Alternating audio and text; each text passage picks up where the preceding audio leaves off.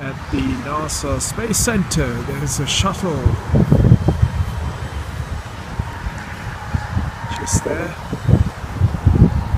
looking fabulously worn out at the NASA Space Center here in Houston, Texas. That's the entrance to the uh, Space Center. Yeah, Space Center sponsors Now look what I have. This is called a All the- all the petroleum companies, Pepsi, Boeing. Okay, um, I'm just at the um, Space Center and it would, I'll have a tram at 2 o'clock which would lead me to uh, several different areas of um, NASA Space Center site. Uh, here's the main hall of the attraction.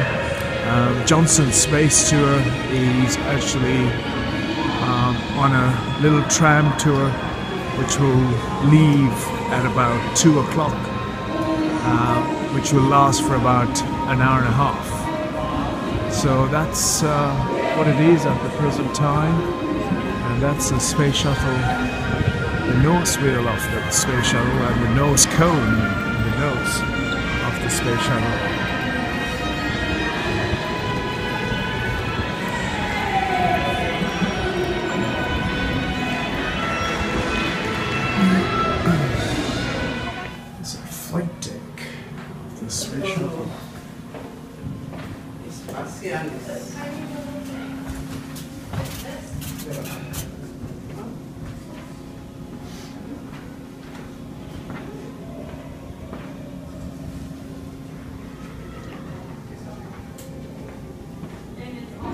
Solar panels on the International Space Agency shuttle.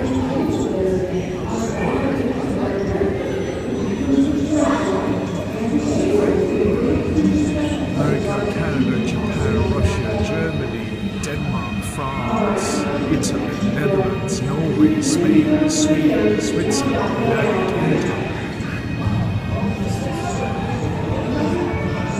The usual thing, um, getting the photo taken, and then there's the uh, the shuttle tour.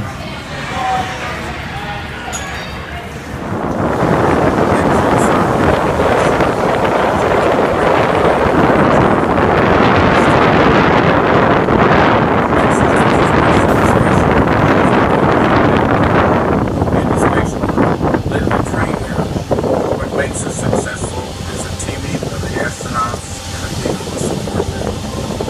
From the largest indoor underwater training facility in the world to the operation of the largest orbiting science laboratory, the International Space Station, Johnson Space Center has always been on the leading edge of discovery and innovation.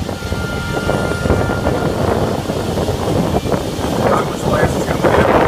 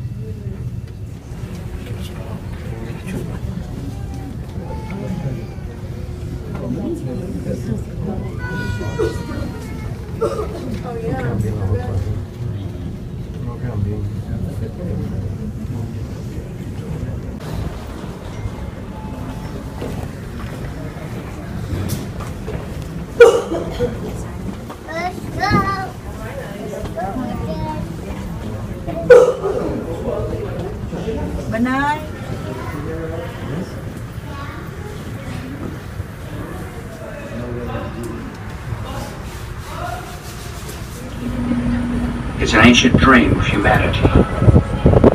For these seven, it was a dream fulfilled. Each of these astronauts had the daring and discipline required of their calling. Each of them knew that great endeavors are inseparable from great risks, and each of them accepted those risks willingly, even joyfully, in the cause of discovery. America's space program will go on.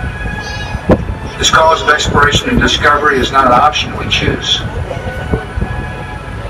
It is a desire written in the human heart.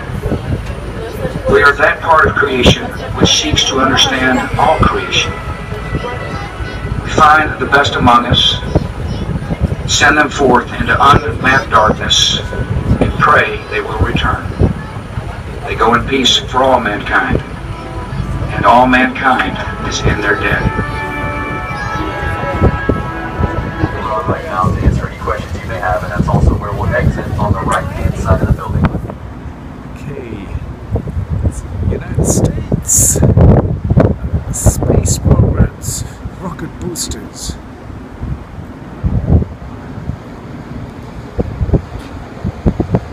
One of the cluster engines here, a Mercury Redstone. Yeah, at the Space Center here in Houston.